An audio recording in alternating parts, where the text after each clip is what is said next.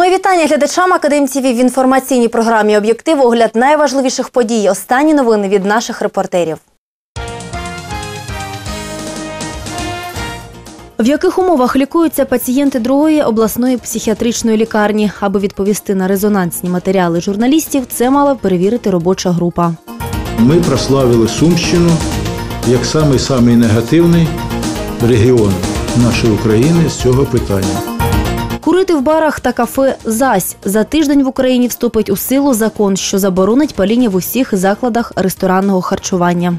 Вообще классно будет. Ну, потому что меньше будет куривать. Во-первых, надо все запретить, чтобы никто не курил. Больше дышать. Скандальні публікації у деяких сумських інтернет-виданнях щодо раціону харчування пацієнтів другої обласної психіатричної лікарні викликали великий резонанс. Звістку підхопили всеукраїнські мас-медіа, виставивши Сумщину у невигідному світлі. За розпорядженням голови облради була сформована робоча група для перевірки компрометуючої інформації. Про результати її роботи знають наші кореспонденти. Скандал розгорівся після того, як одне з найбільш популярних сумських інтернет-видань, посилаючись на інформацію органів прокуратури, розмістило шокуючу статтю з промовистою назвою На Сумщині пацієнтів майже морили голодом. Інше місцеве інтернет-видання передрукувало статтю, прибравши у назві слово майже, тобто морили голодом. Різкий тон матеріалу оцінили у Києві. І головні лікарі, і ми стурбовані такою постановкою питання. Тобто ми прославили Сумщину як самий самий негативний регіон нашої України з цього питання. Іван Рибенко якраз і очолив спеціально утворену комісію облради щодо розслідування усіх обставин скандалу. За його словами, у цьому році обласна прокуратура і генпрокуратура здійснили чергову перевірку психіатричної лікарні номер 2 що на Охтирщині. У постанові було вказано на 17 порушень. Комісія облради з'ясовувала, які із зауважень враховано. Ретельно перевірила якість лікування, санітарно-побутові умови, фінансово-господарчу діяльність, подивилася і підсобне господарство. Особливо членів комісії цікавило, як годують пацієнтів. Конкретно по психіатричній лікарні номер 2 про яку згадується, дієта номер 15 загальна дієта. Калорійність 2827 калорій при нормі 2800. А для 11-ї дієти, тобто для інвалідів, ветеранів війни, норма 3000 3025 калорій. Для нас закон це калораж. Ми не, мо- не маємо права опуститися нижче той межі. Так, в мене виходить в середньому, але в мене виходить більше від мінімальної норми. Тобто наші хворі не голодують. За даними комісії, сьогодні витрати на харчування одного пацієнта у закладі складають 9 гривень 90 копійок на добу. Але лікарня має 266 гектарів свого підсобного господарства, необхідну техніку для збирання врожаю, свиноферму, коней. Отже, історія з нібито голодомором у другій психіатричній лікарні, на думку членів комісії, надумана і необ'єктивна. Навіть навпаки, слід подякувати лікарям за їхню самовіддану працю. Це люди, які працюють не за свою заробітну платню. Вона ніяк е, не може відповідати тим витратам душевним, які вони там залишають. Вони там залишають життя, здоров'я і все тепло своєї душі. Зауважень багато. По кожному зауваженню можна щось робити, але крім подяки, як людини і як лікар, до оцих сидячих тут людей я не можу сказати. Михайло Власенко, Валерій Коваленко, АТВ.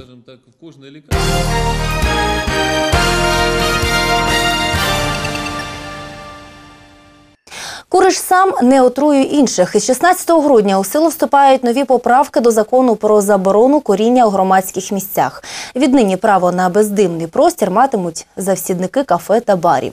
Вже за тиждень позбавитися тютюнового диму змусять усі заклади ресторанного харчування.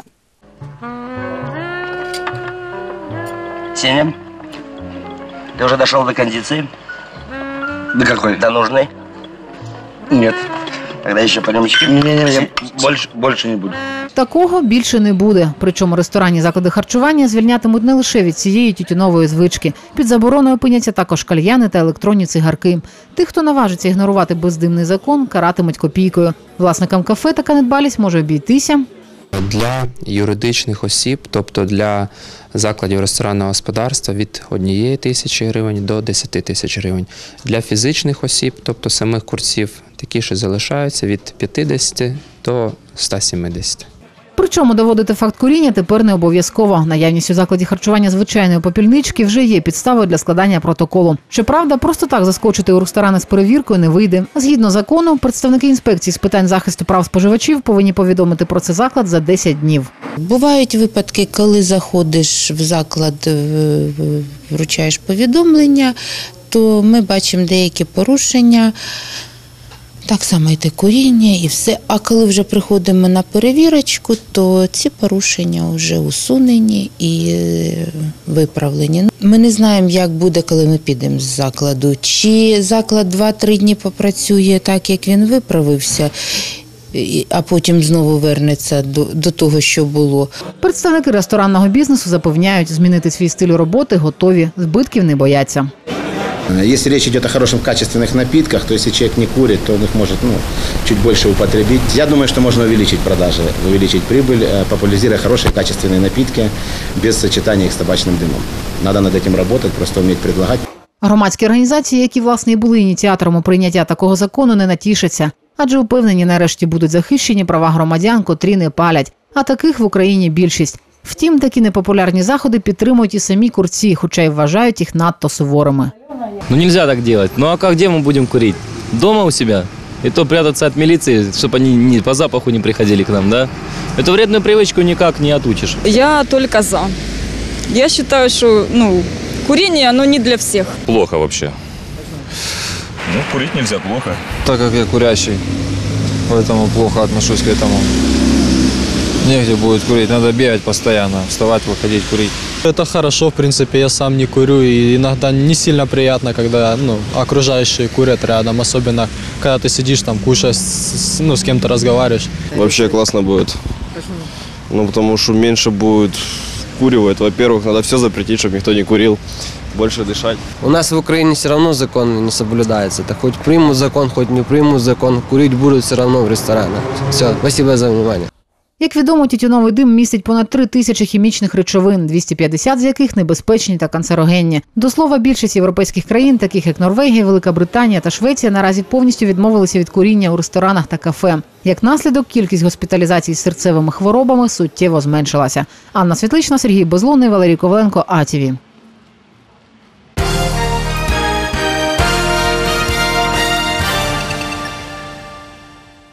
Молода жінка, яка вже покинула двох своїх старших дітей під час чергової вагітності, знову взялася поячити.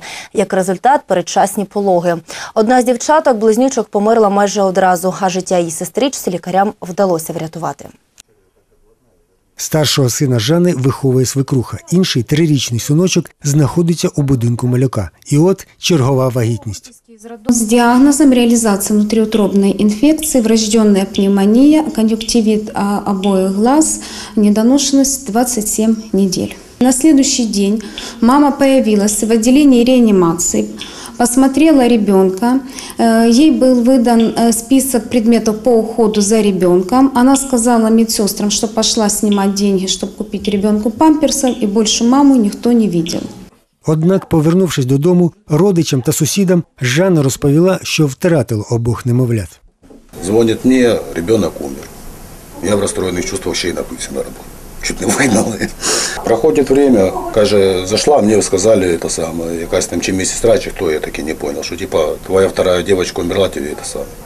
Тебе то ли тут делать нечего. Під наглядом дбайливих лікарів крихітна дівчинка поступово додає ваги і одужує. У спеціальному апараті, де вона зараз перебуває, постійно підтримується комфортна температура для тіла маленької пацієнтки.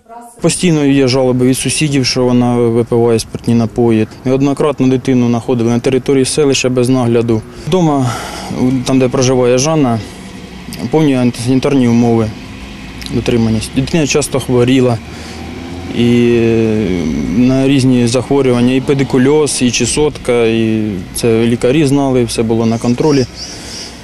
І тому було прийнято рішення про вилучення дитини з сім'ї.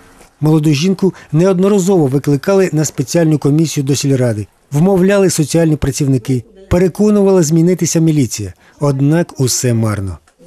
Е, На неодноразові прохання громадянка е, ігнорувала, е, поводила себе агресивно, мотивуючи тим, що вона вже є доросла і е, не бажає, щоб е, інші люди, е, працівники міліції чи соцроботники, е, втручалися в її особисте життя. За останню дитину батьки тепер хочуть боротися. Причина банальна гроші. Оформишь же эти деньги, чтобы хоть какие-то получить. М, Я не знаю, там же ж надо за первые роды, наверное, ж платить будет. Что там, как там же ж, я ж надо ехать узнавать будет. От, да. Зароблю гроші, приїду і заберу. Та нині проти недолугої мами вже порушена кримінальна справа за злісне невиконання материнських обов'язків. Замість грошей на жінку, скоріш за все, чекає п'ятирічний термін ув'язнення. За матеріалами секту громадських зв'язків УМВС у Сумській області Ігор Стрільцов, АТВ.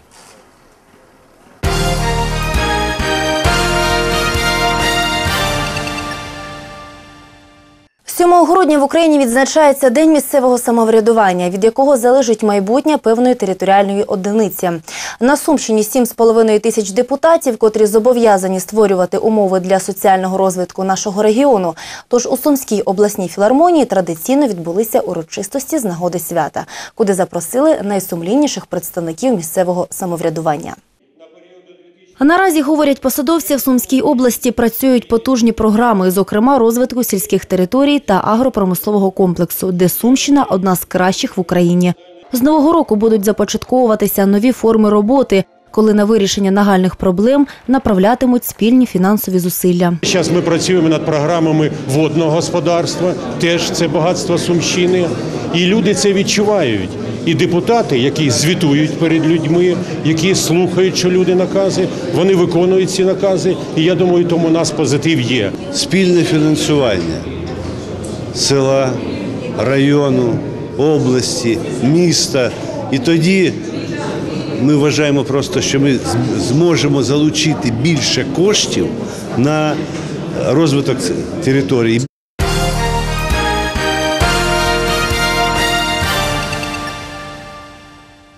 Вуличне освітлення, будівництво водогонів, транспортне сполучення, реконструкція, зведення об'єктів соціальної інфраструктури і, звісно, покращення медичного обслуговування. Ось ключові перемоги регіоналів за рік роботи на теренах Сумщини. Не менш важливі плани на рік наступний. В день місцевого самоврядування представники партії регіонів підбили підсумки своєї роботи за рік минулий. Діючи в рамках обласної програми соціально-економічного розвитку Нова Сумщина 2015, вдалося поліпшити показники в багатьох сферах. Я уверен сегодня и убежден в том, что, и вы это знаете, что Сумщина успешно развивается, успешно проводит ту политику, которая была заложена в основе программы «Сумщина-2015». И ни у кого нет сомнений, мы войдем в пятерку областей Украины, лучшую пятерку по всем показателям.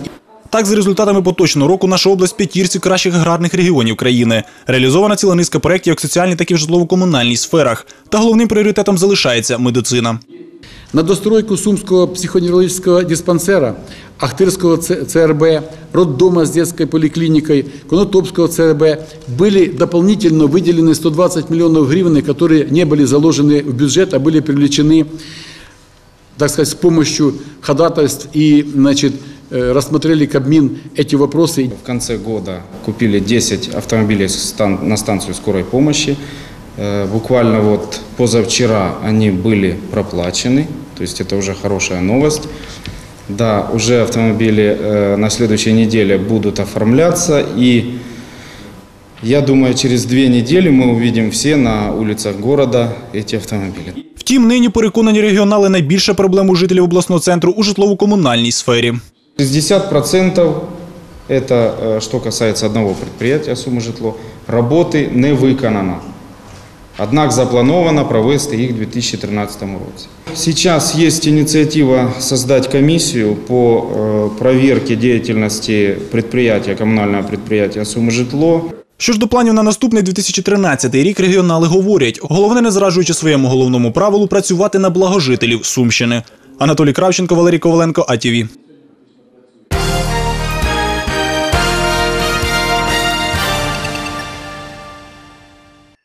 Чемпіонат Сумщини з плавання пройшов в басейні спорткомплексу Динамо. 45 спортсменів виборювали право потрапити до збірної команди області.